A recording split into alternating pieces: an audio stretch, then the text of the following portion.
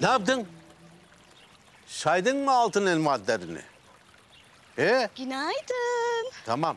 O zaman o sarı sarı liralardan bana iki buçuk üç kilo gönder. Günaydın Hadi bak. babacığım. Günaydın kızım, günaydın. Oo, babasının gülü, günaydın. Tamam hadi sonra görüşürüz. Hadi. Fazla geç kalmayın ha. Hadi bakayım. Babasının güzeli. Günaydınlar, günaydınlar olsun. Kızım, ne iştir he? Sabah sabah koşmuşsun. Alıyorum haberlerini. İçimde çok büyük bir enerji var. Yaşamanın bu kadar kıymetli olduğunu daha yeni yeni anlıyorum galiba. Ya çok mutluyum baba. Ben bunu duydum ya. Daha ne isterim bu hayattan ya?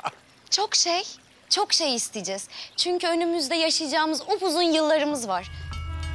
Hem belki çocukken ayrı kaldığımız zamanları şimdi hiç ayrılmadan telafi ederiz.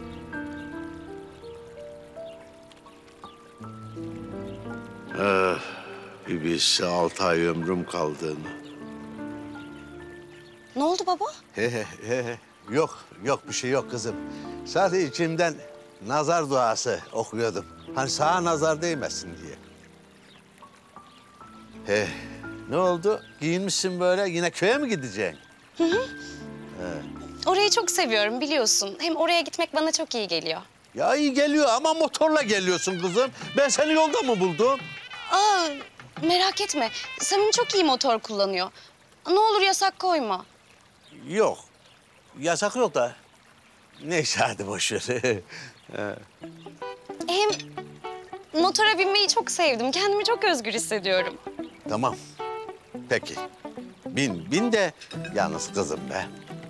Ara sokaklarda gez, tamam mı? Öyle köy meydanda falan gezme yani. Ben şey olur yani, Allah korusun yani. Seni çok seviyorum biliyorsun ha. Ee, bana bak, hele bir bal ye, biraz bal ye hadi. Yağlı ballı, ben sana süreyim mi? Ha, ne olursun babayı kırma. Hadi kızım benim.